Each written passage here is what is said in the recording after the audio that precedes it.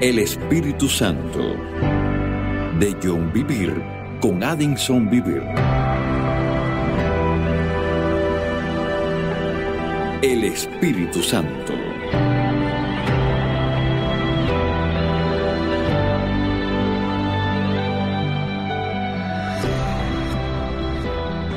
Capítulo de Bono.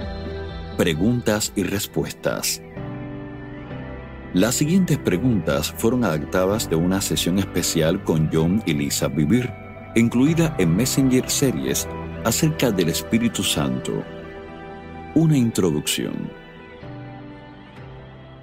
Mencionaste que algunas iglesias están tan enfocadas en desarrollar atmósfera que han descuidado la presencia del Espíritu Santo.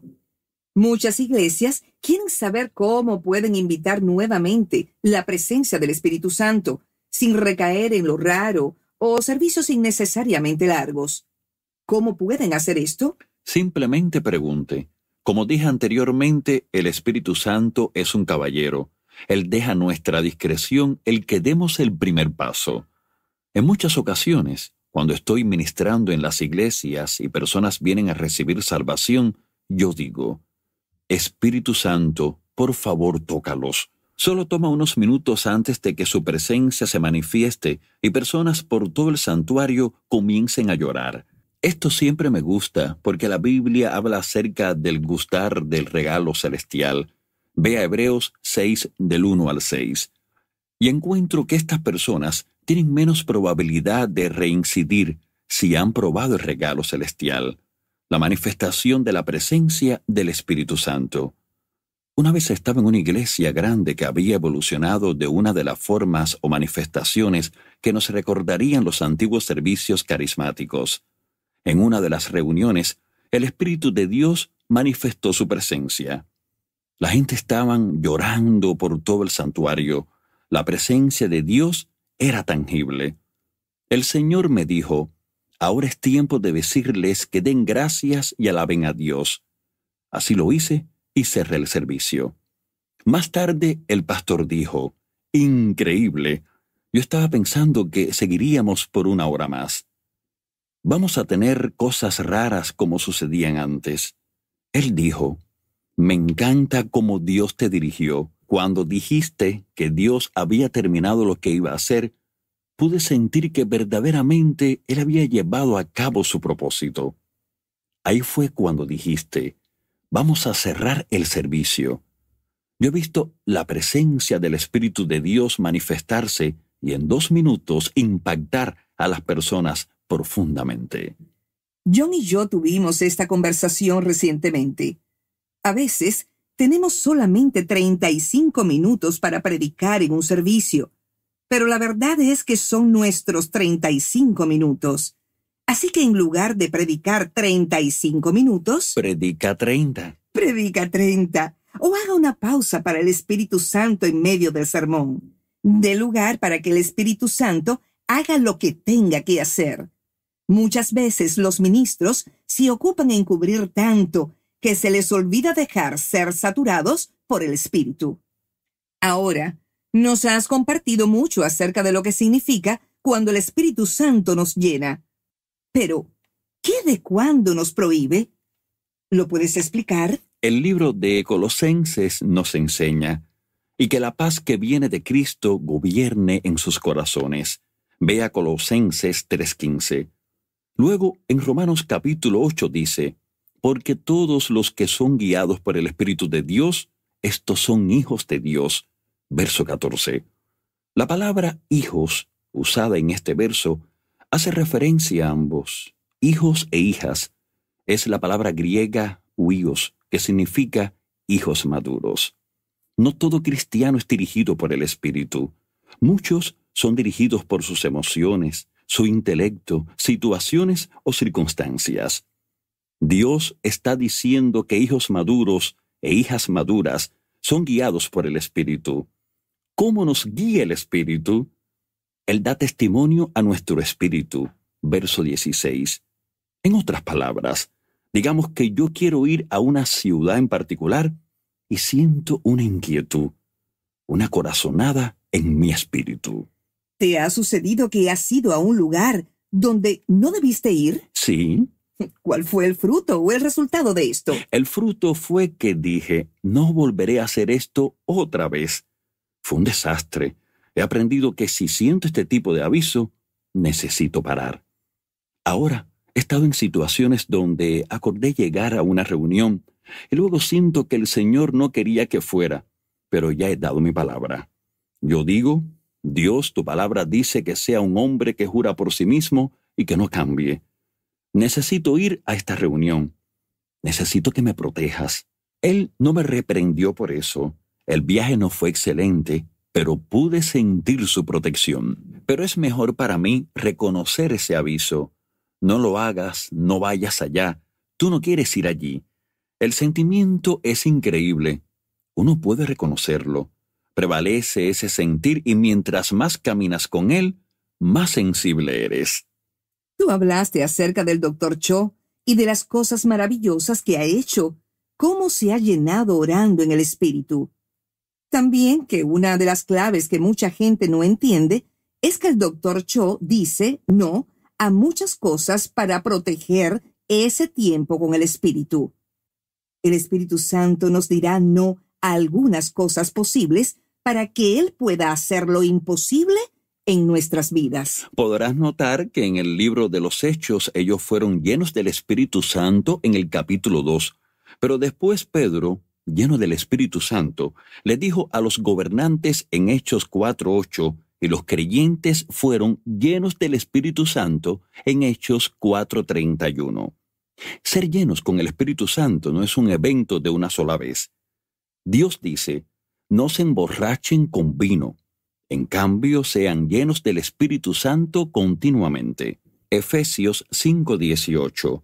No es que tengamos una fuga, es que queremos estar saturados continuamente del Espíritu Santo. Hay momentos en nuestros matrimonios donde estamos saturados en amor el uno para el otro, como también hay ocasiones cuando hemos estado separados el uno del otro y necesitamos ser saturados otra vez. Tienes que ser intencional. Es intencional, así que manténgase lleno. Ser llenos del Espíritu Santo es algo continuo. Cuando usted está lleno del Espíritu, se manifestará en salmos, himnos y canciones espirituales. Vea Efesios 5 del 18 al 20. Usted se encontrará simplemente cantando. Yo he estado cantando mucho más esta semana. Apague el televisor. Sí, apague el televisor. Limite las cosas que lo drenan. ¿Pueden todos los creyentes operar en los dones espirituales o solo los ministros? Yo creo que todos los creyentes tienen la habilidad de operar en cualquiera de los dones del Espíritu. Si alguien está en necesidad de un milagro grande, ese don de operación de milagros puede venir sobre cualquier creyente. Dios también puso dones específicos en la vida de ciertas personas y esos dones operan donde quiera que ellos vayan. Lisa y yo conocimos a un individuo, recuerda Lisa, con el don de sanidad, el cual le permitió ministrar sanidad a corazones. Personas con problemas del corazón viajaban de toda la nación a sus reuniones y recibían sanidad. Este don de sanidad en su vida le ayudó a llevar a cabo el ministerio al cual fue llamado. Pero también puedo pensar en otro amigo mío, el cual su hijo se ahogó en la tina del baño. Se electrocutó y estuvo muerto por 45 minutos. Mi amigo dijo, yo lloré por 30 minutos y nada estaba pasando. Los paramédicos estaban disgustados. Entonces algo me tocó la cabeza. Alguien más miró a través de mis ojos y le dije a mi hijo, tú vas a vivir y no vas a morir. Y su hijo fue resucitado de entre los muertos. Él cree que fue el don de fe lo que vino sobre él. Ese don era necesario en ese momento. Y él no era un ministro en ese entonces. Él era un policía y no estaba dirigiendo un servicio. Él acababa de llegar a su casa a un servicio donde predicó por primera vez su primer sermón. Lo que quiero hacer claro es... Creyentes, cualquier creyente. Cualquier creyente que esté lleno con el Espíritu Santo en cualquier momento de su vida. Y usted no tiene que esperar por el don de sanidad. Jesús dijo, Estas señales seguirán a los que creen. En mi nombre pondrán las manos sobre los enfermos. Ve a Marcos 16, 17. Esto se refiere cuando uno ora la oración de fe para que alguien sea sanado. Dios honrará eso porque Él honra su palabra. Usted no tiene que esperar hasta que el pastor lo ponga en el púlpito. No tiene que esperar hasta que alguien lo llame a una esquina en el recibidor de la iglesia. Usted puede tomar el poder de Dios, las promesas de Dios en su diario vivir. Y si usted siente la dirección del Espíritu para hablarle a alguien, tocar a alguien, orar por alguien o ser generoso con alguien, tal vez debemos empezar por ser generosos. Eso sería maravilloso. Nosotros lo podemos hacer. Y ese es uno de los dones el don de dar, de generosidad. Sabemos que el Espíritu Santo vino a revelarnos a Jesús. Así que cuando hablamos de las manifestaciones que hemos visto en las últimas dos décadas, temblar, reírse, rodar por el piso y caerse, ¿cómo estas cosas revelan a Jesús? Bueno, la Biblia habla acerca de señales inusuales, pero son para una corta temporada. Hay tiempos donde señales y milagros extraordinarios suceden y captan la atención de la gente y los encamina Jesús. Lo que sí considero de muy mal gusto es cuando la gente se adentran y enfocan más en las manifestaciones de los que se adentran en el manifestador. Una vez, cuando estaban en Singapur, un evangelista usado en sanidad vino a la iglesia en la que yo estaba ministrando. Él tenía el don que se manifestaba con la gente riéndose de forma histérica. En nuestro servicio yo podía sentir que la presencia de Dios estaba a punto de manifestarse en esta mega iglesia. De repente, la gente comenzó a reírse y era como si estuvieras rascando clavos en un pizarrón. Eso fue lo que yo sentí en mi espíritu. Entonces, fue lo apropiado, pero en el momento equivocado. Yo dije, alto, Ustedes acamparon en la manifestación. Ustedes no siguieron el Espíritu de Dios. Esto no es lo que Él está a punto de hacer aquí. Él estaba a punto de tocar a las personas profundamente con el temor de Dios. Ahora vamos a esperar que el Espíritu de Dios regrese y ministre. Entonces hice que oraran nuevamente. El Espíritu de Dios entró y la gente en todo el edificio comenzaron a llorar. Lo que sucede en estas situaciones donde las manifestaciones son de mal gusto es que parece como si las personas casi comenzaran a lucirse. Una pareja no va a tener intimidad en frente de todo el mundo. Es como si la gente quisieran tomar la intimidad que Dios les ha dado y la mostraran como queriendo decir, mira esto, somos espirituales.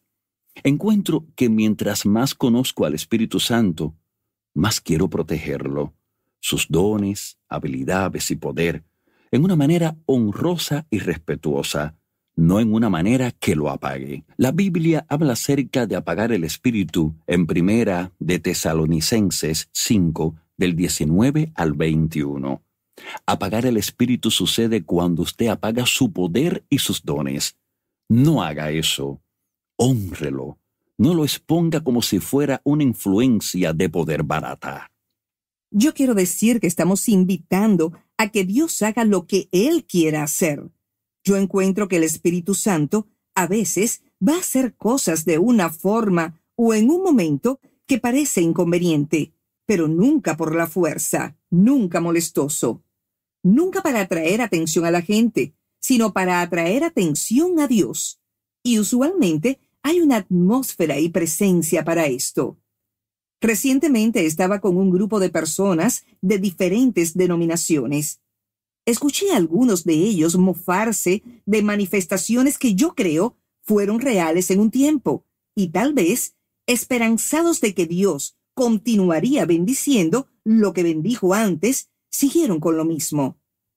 La función se perdió a lo largo del camino, pero la forma se quedó, y las personas se estaban mofando. Nosotros no nos estamos burlando de ninguna de estas manifestaciones. Queremos todo lo que el Espíritu tenga, pero queremos que sea en fe. Lo anhelamos en un orden decente y que esté acompañado de la presencia de Dios. John, ¿cabe la posibilidad de que alguien sienta que tiene paz acerca de algo y no sea de Dios? Sí, Lisa, absolutamente. Si miras el capítulo 14 de Ezequiel, Dios le habla a la gente que venían a él con ídolos en sus corazones. Ahora, ¿qué es un ídolo? La idolatría del Nuevo Testamento es avaricia. Ve a Colosenses 3.5. Desear algo incorrectamente. La gente que tiene ídolos en sus corazones se atreverían a ir a donde un profeta y decirle, por favor, ore por mí y decláreme la palabra de Dios. Dios dijo, yo responderé al que viniere conforme a la multitud de sus ídolos en su corazón. Ve a Ezequiel 14:4. Cuando yo voy delante de la presencia de Dios y pido por algo, necesito asegurarme que mi corazón es neutral.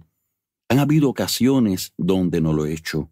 Por mi corazón no estar en una posición neutral, la paz que sentía no era de Dios y me causó mucha tristeza.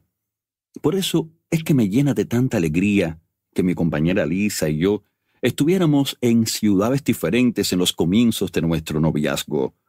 Nosotros tomamos 30 días para orar si debíamos seguir adelante con la relación. Yo estaba tan atraído a ella que me tomó probablemente 25 días para no dejar que esta atracción me dominara. Pero llegué a un punto en esos 30 días donde yo sabía que si Dios decía no, yo iba a estar bien con eso, porque significaba que Él tenía a alguien más para ella y para mí. Una vez que alcancé ese punto neutral, comencé a escuchar realmente. Si voy a mi lugar de oración y siento que no estoy neutral, tengo que trabajar con eso, a través de la palabra de Dios y la oración, hasta que llegue a ese punto de neutralidad. Una vez que lo hago, entonces es que comienzo a escuchar verdaderamente. Hemos hecho esto en numerosas ocasiones en las diferentes etapas de nuestra vida, donde pensamos, va a hacer esto, va a hacer aquello y va a hacer allá, cuando realizamos que no era nada de lo que habíamos pensado. Tuvimos que borrar todo el pizarrón y decir, Dios, lo que tú quieras. Tú hablas de un sentimiento como saber que algo viene del espíritu. Cuando yo estaba estudiando para el libro Nutrir, busqué el significado de la palabra intuición. Está formada de las palabras del latín in y tuer, que juntas significan tutor interior. El Espíritu Santo es nuestro tutor interior. Él nos da un corazón nuevo. Ve a Ezequiel 36:26 y comienza a enseñarnos. Hay momentos en la vida con personas o situaciones cuando todo se mira correcto y se siente incorrecto. ¿Puedes hablarnos de esto? Por supuesto, Lisa. Cada vez que no he escuchado a ese tutor interior, cuando todo estaba mal en mi espíritu, pero se miraba bien en la superficie, ha sido una trampa para mí. ¿Y es esto cuando tienes una respuesta inicial, pero ¿le has buscado la lógica? Sí, usualmente esa respuesta inicial es el Espíritu de Dios. Lo mismo me ha sucedido cuando he ignorado tu consejo, Lisa. Quiero decirle esto a los esposos y esposas. Cuando Lisa y yo estábamos recién casados, yo oraba alrededor de una hora y media al día. Pude notar que Lisa oraba por diez minutos en latina, ¿no es así? Sí, estaba trabajando a tiempo completo. Mira, en muchas ocasiones yo decía, Lisa, creo que debemos hacer esto. Realmente siento que debemos hacer aquello. Y ella me decía, ¿cómo me decías? Yo no siento eso. Y la mitad del tiempo tenía la razón, estaba tan frustrado. Un día dije, Dios, yo oro por hora y media todas las mañanas. Lisa ora por diez minutos en latina. Sin embargo, tiene la razón en más de la mitad de estas cosas. El Señor me dijo, dibuja un círculo. Así que dibujé un círculo en un pedazo de papel.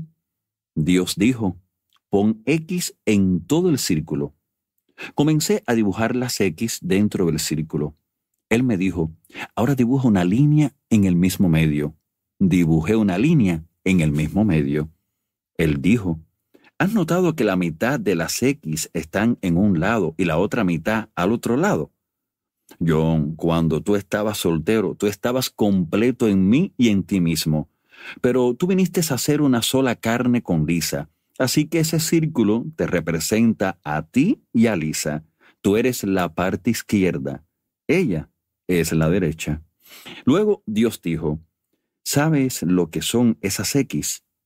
Representan la información que tú necesitas de mí para tomar decisiones sabias. El problema es que estás tomando todas tus decisiones basado en solo la mitad de la información. Necesitas aprender a cómo sacar de tu esposa lo que yo le enseño para que como cabeza del hogar puedas tomar decisiones con toda la información. Con este entendimiento acerca de la intuición, yo diría que sí me ha perjudicado cuando he sentido ese aviso inicial y lo he ignorado. Pero han habido ocasiones donde Lisa ha dicho cosas que he ignorado, aun cuando en lo más profundo de mi ser yo sé que sus palabras son las del Espíritu, porque ¿qué es lo que Él hace? Él da testimonio. Lisa también ha dicho cosas, y esto sucede solo una vez cada ciertos años, donde yo sé que lo que está diciendo no es motivado por la fe, es el miedo hablando y no lo recibo. Pero la mayoría del tiempo cuando Lisa habla en mi espíritu, yo sé que tiene la razón. Si yo ignoro ese testimonio, yo soy el que paga las consecuencias. Creo que John está siendo muy generoso, pero yo quiero que la gente entienda que cuando Dios les habla algo, pueden confiar en Él. Investigadores dicen que el espíritu puede predecir más de lo que podemos entender. Cuando nos lanzamos basado en nuestro propio entendimiento y comenzamos a dudar las cosas, no estamos cuestionándonos a nosotros mismos. Estamos dudando de Dios. Cuando Dios comienza a decirnos algo, necesitamos obedecer. Recientemente tuve una experiencia con un grupo de personas en un autobús y tengo que decir que no me gustan los autobuses. Nuestro grupo estaba en un autobús en un aeropuerto por largo rato y una de las personas en el grupo parecía no encontrar cómo llegar al lugar donde nos habían recogido a todos. Seguíamos llamándola, pero no la podíamos encontrar. Finalmente, pude ver a esta persona que estaba brincando, moviendo sus manos, bastante lejos, al lado de los taxis, no donde se suponía que estuviéramos. Quería estar molesta con ella, pero tan pronto la miré, pensé, yo la amo. Fue una conexión de corazón inmediatamente. Tan pronto la miré, la amé, tuvimos una conexión bien fuerte. Dios le dará ese tipo de conexiones. Todo en lo natural dice, ¿por qué la amo? Pero así era. Recibí un correo electrónico bastante extenso de su parte, donde decía, Tú me amaste a primera vista y al hacerlo me hiciste sentir el amor de Dios en uno de los momentos más solos de mi vida. Esto es el resultado del ser simplemente seres humanos que se dejan llevar por esta clase de conexiones en lugar de nuestro medio ambiente. También han habido momentos cuando John me ha dicho, Lisa, no tengo un buen presentimiento de esta persona. A lo que yo respondí, amor, es que no eres mujer. Honestamente no conoces estas cosas como yo. Él me ha advertido probablemente tres o cuatro veces y las veces que no he escuchado me ha perjudicado. Sí, permíteme decir esto. En Hechos 15, Pablo y Bernabé enfrentaron la controversia acerca de que si los gentiles tenían que seguir la ley de Moisés. La iglesia los envía a Jerusalén para reunirse con los ancianos y los apóstoles. ¿Por qué no tomaron la decisión ellos mismos? ¿Por qué tuvieron que bajar a Jerusalén a reunirse con todos? Porque el poder y la dirección van acompañados de la unidad. Por esta razón, esposos y esposas deben hacer todo lo que esté a su alcance para mantenerse unidos. Este estado de unidad nos facilita el tener una respuesta clara de parte de Dios. John, ¿cuál es la diferencia entre los dones del Espíritu y el fruto del Espíritu? Lisa, el don del Espíritu es algo que Dios deposita sobre la vida de alguien. No necesita ser cultivado o desarrollado. Opera automáticamente. Lo único que necesita ser cultivado es como la persona opera en ese don. Ahora, el fruto del Espíritu necesita ser cultivado. Así que los dones son dados, el fruto es cultivado. El fruto del Espíritu es el resultado de una vida dirigida por el Espíritu Santo. Cuando usted camina en el Espíritu, el resultado de ese fruto cultivado será una persona que posee más gozo, más paz, más paciencia, más amor, etc. Ver Gálatas 5, 22 y 23. Ese amor, ese gozo o paz va a emanar de nosotros porque estamos andando en el Espíritu. Tiene que ver con su vida personal. El fruto del Espíritu es el fundamento que lo mantendrá seguro en su ministerio. Ahora, los dones del Espíritu pertenecen a su ministerio y desafortunadamente muchas personas buscan los dones del Espíritu. Yo he orado, Dios, no quiero que los dones que has depositado en mi vida sobrepasen el fruto que has desarrollado en mí. Oro que pueda terminar bien, porque lo que sucede con regularidad es que la gente comienza a buscar los dones. La Biblia dice, busquen el amor y deseen los dones espirituales. Vea primera de Corintios 14.1. La gente busca los dones, pero ignoran el fruto. Amor. Los dones no tienen el carácter para sostener a las personas y puede terminar destruyéndolos. Judas echó fuera demonios y sanó los enfermos. Sin embargo, Judas está en el infierno. Jesús dijo, hubiera sido mejor para él no haber nacido. Mateo 26, 24. Judas tenía los dones del Espíritu operando en su vida, pero obviamente no cultivó el fruto. Algunas personas operan con dones poderosos. Sin embargo, el fruto de sus vidas está en contraste con el poder de los dones. ¿Cómo sucede esto? Lisa, simplemente mira a Balán. Balán tenía el don de profecía. Sus profecías están en la Biblia. Las palabras que habló fueron las de Dios. Sin embargo, Dios lo tuvo que matar a filo de espada porque fue tan malvado y desobediente. El rey Saúl estaba loco, era un hombre desquiciado. Llegó a perseguir a David, el ungido de Dios, para matarlo. Aún así, en medio de esto, él profetizó un día con los profetas. Vea primera de Samuel 19. El hecho de que los dones espirituales estén operando en la vida de una persona no indica necesariamente que tiene la aprobación de Dios. Jesús dijo en Mateo 7, 22 y 23, Muchos me dirán en aquel día, Señor, Señor, ¿no profetizamos en tu nombre y en tu nombre echamos fuera demonios y en tu nombre hicimos muchos milagros? Y entonces les declararé, Nunca os conocí, apartaos de mí, hacedores de maldad, no desarrollaste el fruto en tu vida. El Señor me habló un día y me dijo, ¿te das cuenta que no dicen, pero le dimos de comer al pobre en tu nombre, visitamos a los que están presos en tu nombre? La gente que hacen estas cosas cultivan el fruto. Cultivar el fruto del Espíritu es la seguridad que nos posiciona para terminar bien. Esto lo aprendí por primera vez cuando estaba trabajando en una iglesia grande, una de las iglesias más reconocidas en todo el mundo. Esta iglesia era visitada por algunos de los predicadores más reconocidos, la gama de los ministros cristianos. Mi trabajo era recogerlos en el aeropuerto y ser su anfitrión durante su estadía. Pude notar que cuando ciertos ministros entraban al auto, sentía como si el mismo Jesús se hubiera sentado a mi lado.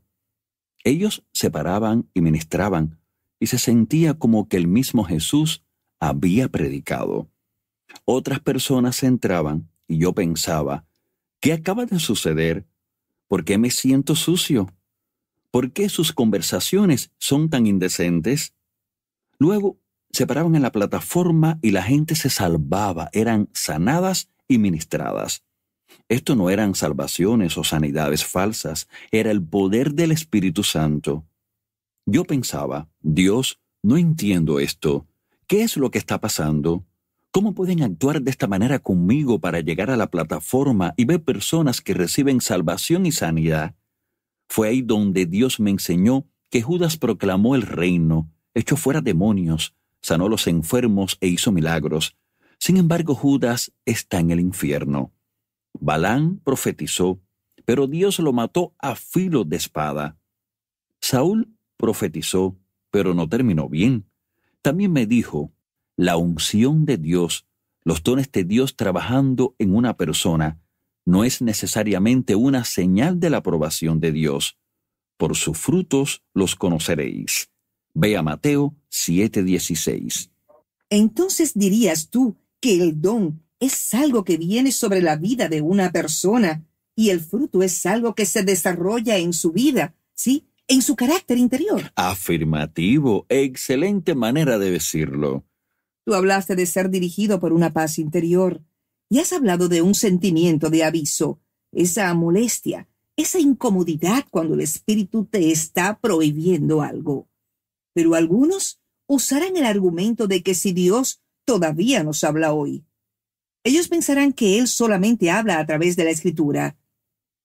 John, ¿crees tú que Dios habla hoy o solamente habla a través de su palabra? Bueno, Lisa, primero que todo, Pablo le dijo a la iglesia de Corintios, ustedes saben que cuando todavía no eran creyentes, se dejaban arrastrar ciegamente tras los ídolos mudos.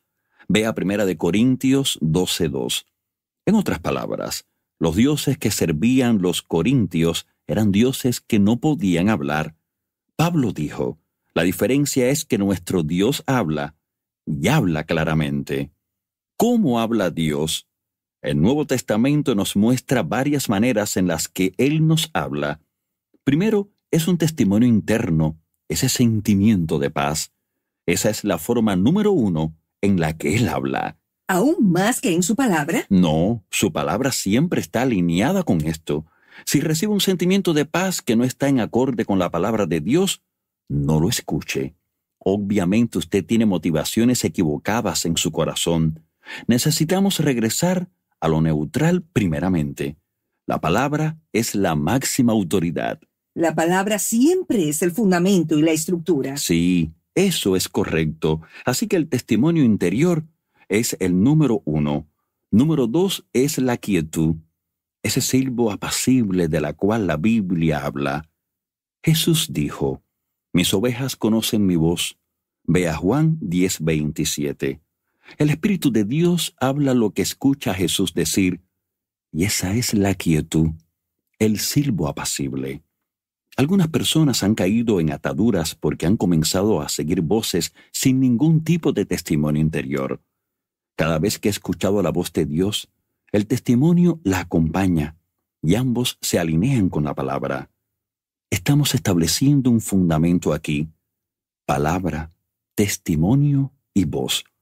Si usted escucha la voz pero no tiene testimonio, no escuche la voz. Yo he estado en reuniones donde personas han profetizado a mi vida, pero no he experimentado la presencia de Dios, no he recibido testimonio interior, ni le presto atención a esas palabras. La próxima forma que nos presenta el Nuevo Testamento dice que Dios nos habla a través de sueños. Hechos capítulo 16 nos cuenta la historia de Pablo teniendo un sueño. Un hombre macedonio viene a Pablo en su sueño y le dice, Por favor ven y ayúdanos. Ese fue el Espíritu Santo usando un sueño para decirle a Pablo, Ve a Macedonia. Dios le habla a algunas personas a través de sueños un poco más que a otros. Dios le habla a mi esposa poderosamente a través de sueños. Dios usualmente me habla a través del testimonio interior y el silbo apacible. La próxima forma presentada en la Biblia es de Dios hablando a personas a través de visiones. Cuando Él lo describe dice, si en el cuerpo, no lo sé, si fuera del cuerpo, no lo sé Vea segunda de Corintios 12:2. En una visión, uno no sabe si está en el cuerpo o fuera del cuerpo, pero puedes ver dentro del mundo espiritual. Cuando mi pastor nos lanzó al ministerio en 1989, fue por una visión. Él vino a una reunión del personal y dijo, Tuve una visión anoche. Fue como si lo estuviera mirando en una pantalla de televisión uno de nuestros pastores no será parte de este equipo de trabajo por mucho tiempo más. Va a estar viajando por todo el mundo y será una bendición al cuerpo de Cristo. Luego dijo, Ese hombre eres tú, John Vivir. Dios me había dicho lo mismo ocho meses atrás durante mi tiempo de oración, así que fue una confirmación para mí. La última forma que menciona el Nuevo Testamento es que Dios nos habla a través de trances. Pedro experimentó un trance en Hechos 10. Un trance es cuando sus sentidos son suspendidos. Esto es diferente a una visión, porque en una visión los sentidos están intactos. Uno se puede mover. Cuando Pablo y Juan subieron al cielo, ellos se estaban moviendo. En un trance uno ve algo y escucha la voz de Dios. Todos los demás sentidos están suspendidos. Ahora alguien pudiera decir, ¿qué de un vellón señal. Un vellón es un método del Antiguo Testamento para escuchar a Dios. Usted tiene que tomar todo el Antiguo Testamento y pasarlo por la cruz. La cruz lo deja como está, lo revisa o lo borra.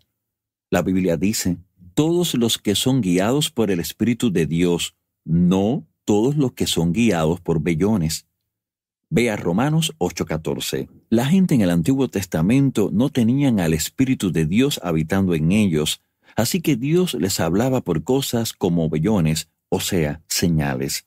Personalmente no promuevo vellones a los creyentes del Nuevo Testamento. Creo que está bien, pero asegúrese de que usted se está dejando dirigir únicamente por la palabra y el testimonio interior.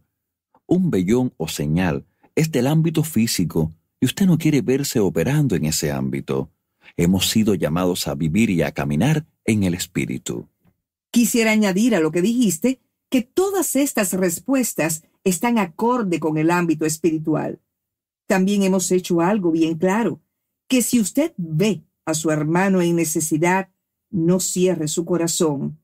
Vea primera de Juan 3, 16 al 18. Algunas veces no se necesita una voz del cielo. Lo que se necesita es ver o escuchar una necesidad. Cuando escuchamos lo que estaba sucediendo con nuestros libros, que la gente los estaba deshojando y pasando las hojas a otros, dijimos, vamos a responder. Cuando escuché de niñas siendo traficadas, Dios no me habló, pero dije, Lisa, tenemos que ayudar. Lo leía en magazines, lo veía cuando estaba fuera del país. Algunas veces la gente estaba buscando un trance, una visión o un sueño cuando la Biblia dice, si tú ves. Si tú ves a tu hermano en necesidad. Y comenzamos con nuestro hermano o hermana en necesidad. Comenzamos con los cristianos en necesidad. Comenzamos con aquellos que podemos ver literalmente, los que podemos tocar, los que podemos escuchar sus voces y no podemos cerrar nuestro corazón. He podido ver que cuando respondemos a lo que vemos en el ámbito natural, Dios nos confía con más del ámbito espiritual porque Él dice, puedo ver que has sido fiel con esto, puedo confiarte un poco más del ámbito de la fe.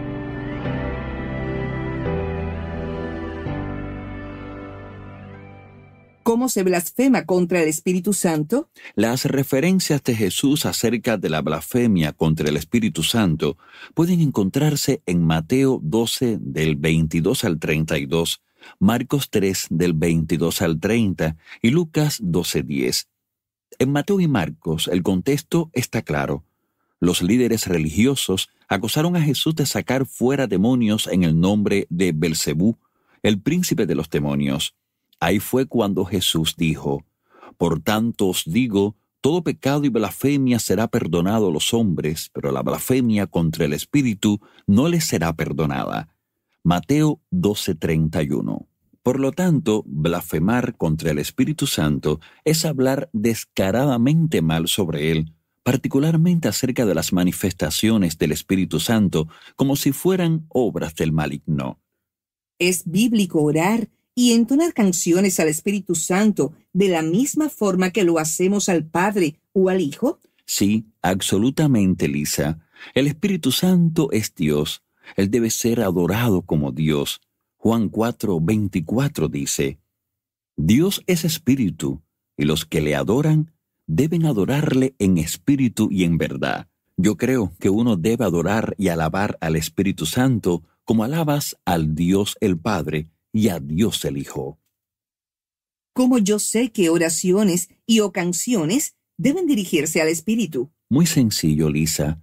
Jesús le dijo a sus discípulos, Aún tengo muchas cosas que deciros, pero ahora no las podéis sobrellevar. Pero cuando venga el Espíritu de verdad, Él os guiará toda la verdad, porque no hablará por su propia cuenta, sino que hablará todo lo que oiga y os hará saber las cosas que habrán de venir. Él me glorificará, porque tomará de lo mío y os lo hará saber. Todavía un poco y no me veréis, de nuevo un poco y me veréis, porque yo voy al Padre. De cierto, de cierto os digo que todo cuanto pidáis al Padre en mi nombre, os lo dará. Juan 16, 12 al 14, 16 y 23. Le pedimos a Dios el Padre en el nombre, autoridad de Jesús. Luego tenemos comunión con, quiero decir, comunicar y conversar con o hacer preguntas, el Espíritu Santo, que lo hemos discutido a través de este libro. John, ¿es bíblico pedirle al Espíritu Santo que venga a reuniones o servicios cuando Él es omnipresente? Sí, Lisa. La Biblia enseña de ambos la omnipresencia de Dios y su presencia manifestada. Aprendemos de su omnipresencia de las palabras de David. ¿A dónde podría alejarme de tu espíritu? ¿A dónde podría huir de tu presencia? Si subiera al cielo, allí estás tú. Si tendiera mi lecho en el fondo del abismo, también estás allí. Si me elevara sobre las alas del alba o me estableciera en los extremos del mar, aún allí tu mano me guiaría, me sostendría tu mano derecha. Salmos 139 del 7 al 10. La Biblia también dice que Dios no nos dejará ni nos desamparará. Ver Hebreos 13:5. Nuevamente, esta es su omnipresencia, su presencia que está en todo lugar siempre. Por el otro lado, hay una presencia de Dios manifestada. Manifestar significa traer lo invisible a lo visible, lo que no se escucha a lo que se escucha, o lo desconocido a lo conocido. Dios manifiesta su presencia cuando Él se revela a nuestros sentidos. Vea Juan 14 del 19 al 24. Creo firmemente que es completamente bíblico pedirlo. Entonces, ¿por qué oramos para que Dios derrame su espíritu? ¿No lo hizo ya? Zacarías 10.1 dice, Pedid a Jehová lluvia en la estación tardía. En la escritura, la lluvia siempre representa un derramamiento del Espíritu Santo. Yo creo que cuando le pedimos a Dios que derrame su Espíritu, le estamos pidiendo un derramamiento fresco en nuestras comunidades, ciudades y naciones. Esto es una mayor manifestación de su presencia, lo cual nos da el poder para hacer su trabajo y dirigirnos a una mayor cosecha de almas para el reino de Dios.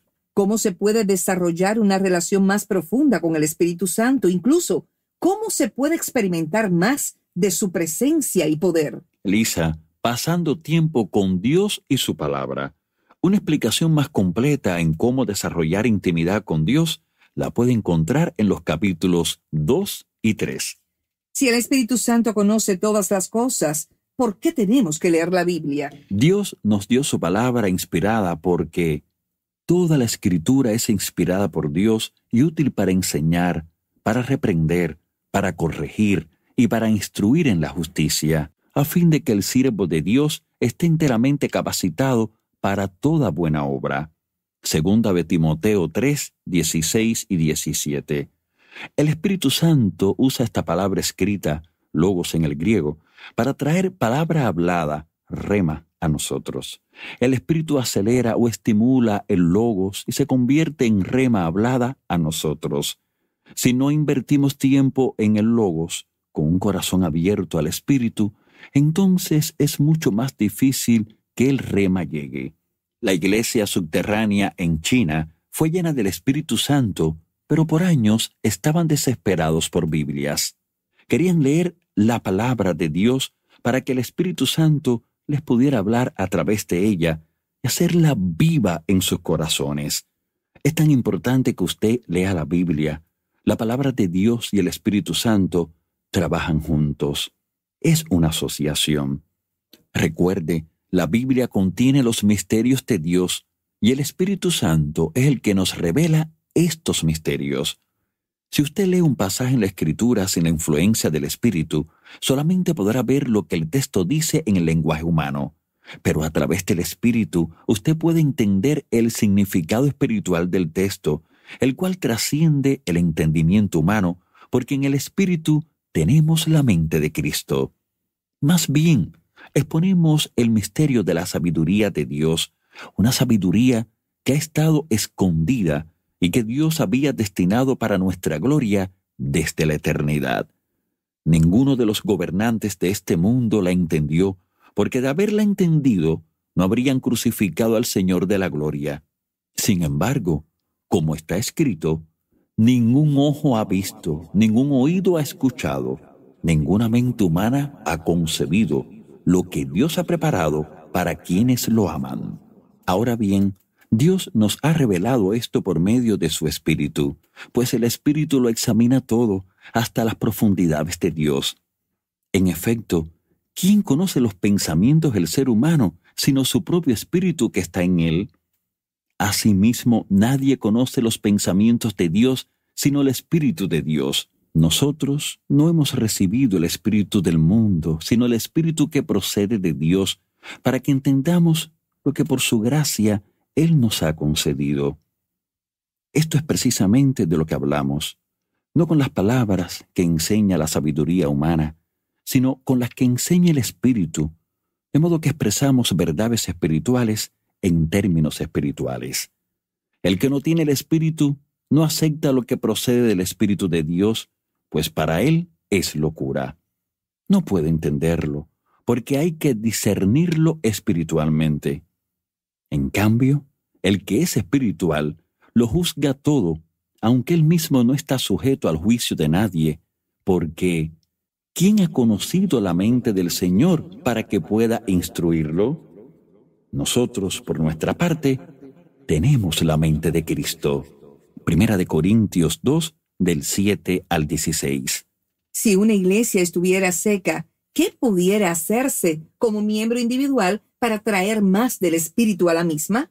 A menos que usted sea un líder en su iglesia, lo único que puede hacer es orar. Primero, invita al Espíritu en su vida para que así usted pueda atraer a la iglesia su presencia manifestada. Segundo, pida que Dios mueva los corazones de sus líderes para que sean más abiertos a la presencia manifestada del Espíritu Santo.